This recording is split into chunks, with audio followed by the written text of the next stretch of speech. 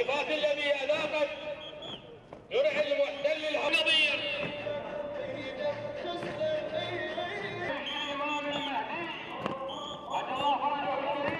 الإمام المهدي